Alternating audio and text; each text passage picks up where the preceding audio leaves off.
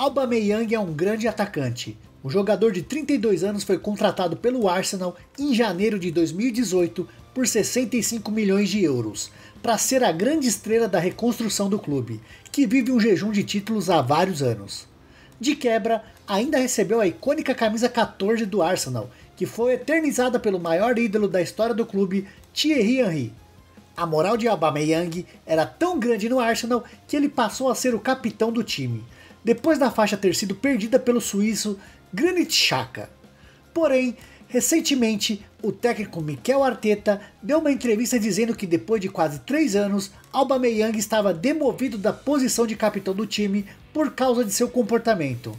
O novo capitão do time passou a ser o francês Alexandre Lacazette.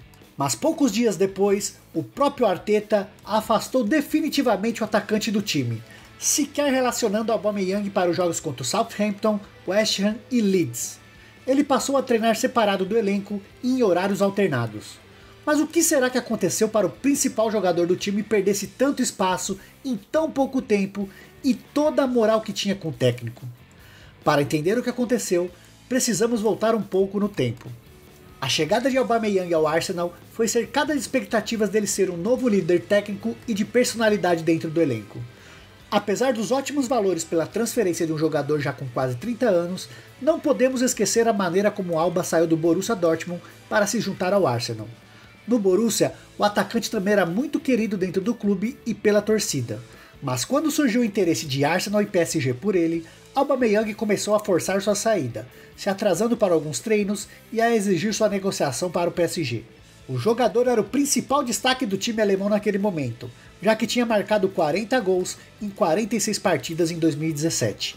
A diretoria do Borussia Dortmund, revoltada com a postura de Aubameyang, resolveu então aceitar a proposta do Arsenal no lugar da do PSG. Mesmo o Arsenal não sendo sua primeira opção para jogar, o atacante jogou bem, com uma média de gols alta quase por toda sua passagem pelo Arsenal.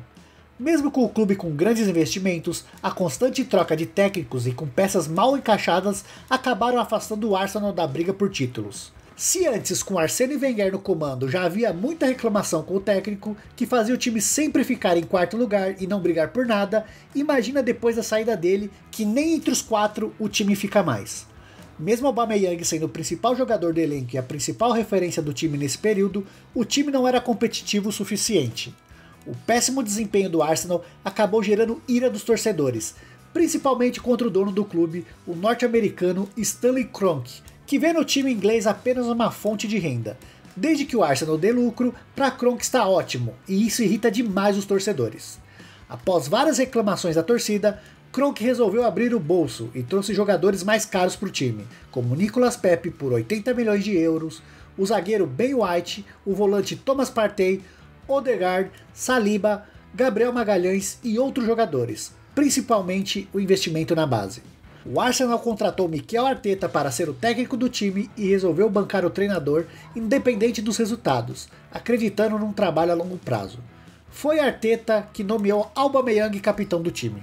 Depois de anos sem títulos, o Arsenal finalmente venceu a FA Cup da temporada 2019-2020 e a Supercopa da Inglaterra em 2020, mesmo decepcionando na Premier League. Mesmo com as manifestações da torcida pedindo uma troca no comando e a venda do Arsenal para um novo investidor, o trabalho foi mantido. E nesta temporada, finalmente parece que o trabalho de Arteta começou a render frutos, visto que o Arsenal está entre os quatro primeiros colocados da Premier League depois de muito tempo. Aubameyang, como sempre, vinha sendo o principal jogador do time no ataque, marcando 7 gols em 15 jogos com mais duas assistências. Depois da derrota do Arsenal para o Everton por 2 a 1, Arteta deu folga aos jogadores de dois dias e Aubameyang resolveu viajar até a França para visitar sua família. Para nós, parece longe, mas é um voo de pouco mais de uma hora entre Londres e Paris. No dia da representação, todos os jogadores retornaram da folga menos o capitão, e isso irritou profundamente Arteta, que resolveu tirar a faixa de capitão de Aubameyang e o afastou dos jogos contra o Southampton e o West Ham. Coincidentemente, o Arsenal venceu os dois jogos sem sofrer gols e marcou cinco. Porém, depois da suspensão, Aubameyang foi reintegrado ao elenco pelo treinador, mas a paz não durou por muito tempo. Arteta deu uma dura entrevista reclamando da postura do atacante e o afastando do time principal, o colocando para treinar em horários alternativos e colocando na lista de negociáveis do clube. Mas aí eu te pergunto, o que será de tão grave aconteceu para Arteta tomar uma decisão tão extrema? Bom, a postura de Aubameyang já vem incomodando o treinador há algum tempo, por causa de seu jeito descompromissado e não tendo uma postura de que se espera de um capitão. Mas Arteta sempre fez vista grossa, já que o jogador sempre foi muito querido pelos companheiros de time. Mas após o retorno da suspensão pelo atraso, o atacante foi reclamar com o técnico em sua sala e levantou a voz com Arteta, se sentindo injustiçado e perseguido. Foi então que Arteta resolveu, junto com seu staff, afastar o jogador, que nasceu na França, cresceu na Itália, tem mãe espanhola, mas defende o Gapão em definitivo. E fontes ligadas ao clube dizem que essa decisão é irredutível.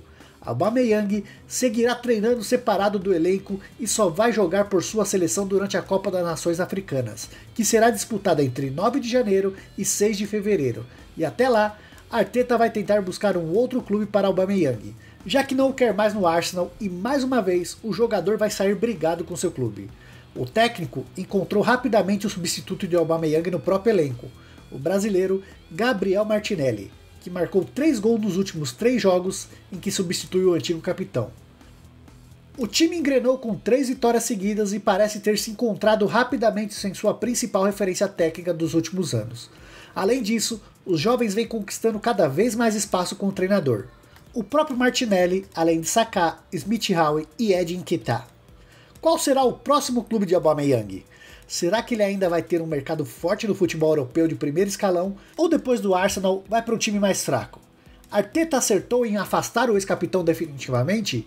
Deixe sua opinião aí nos comentários que eu quero saber, beleza? Tamo junto, até o próximo vídeo e fui!